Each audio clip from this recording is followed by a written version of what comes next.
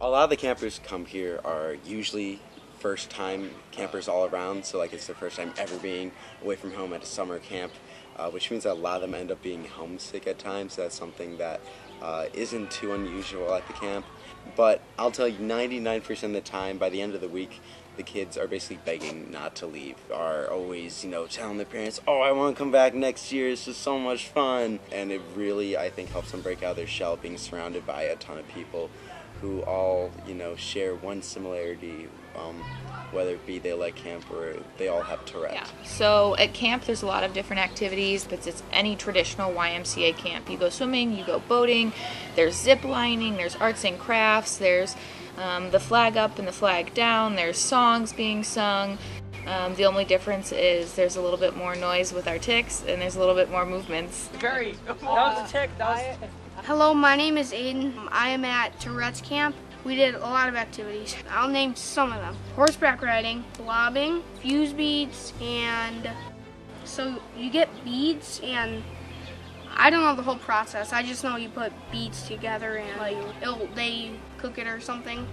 Pretty sure they iron it, yeah. So I will want to come back next year. I'm Sarah Matchin. I'm the director of Camper Success. And so what that means is kids are having a hard week or are homesick, um, you know, I help them through it and help them have a really awesome week. High ropes course is really, um, really fun. And what's really cool about high ropes is some kids who are really anxious, um, you see challenge themselves more than they've ever challenged themselves before and accomplish things they didn't think they could. And it's just really neat to see the pride on their faces when they reach a new height or conquer a new obstacle. Um, it's awesome to watch. Jumping off is the hardest part because like it's against every natural instinct. Having been here for you know 19 years now, I've seen kids grow up and just seen the the friendships and the just extended family they've created through camp and the people they meet here. Uh, when I was here as a camper, um, I guess my favorite thing was also kind of you know interacting with other kids with Tourette's. Because um, this is really you know really one of the only places you can do that, especially you know with this many people. um, I didn't really know anybody with Tourette's until I came here, so it was kind of kind of a cool new experience. Able to kind of you know feel relaxed and you know not judged and open to tic and talk about it with whoever you want and kind of ask questions. You know, hey, do you do this or do you do, that? Um, you know, you can't really do that anywhere else. I'm Caleb.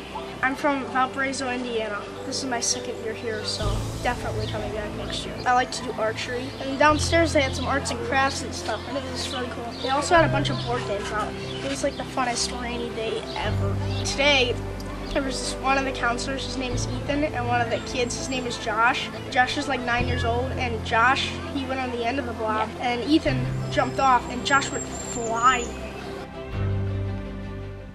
I would say that the biggest thing that camp has done for me um, growing up was it uh, gave me a second chance to, I guess, kind of socialize myself.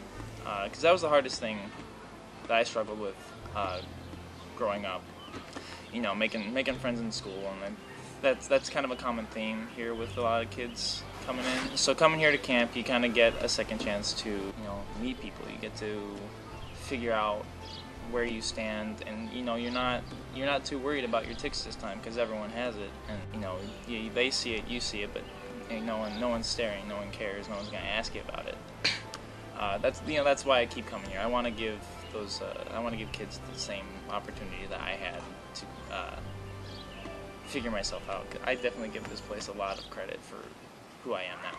My favorite part about camp is having one week out of the year that you're just like everybody else and um, you can be yourself and don't feel like you have to hide um, any part of you.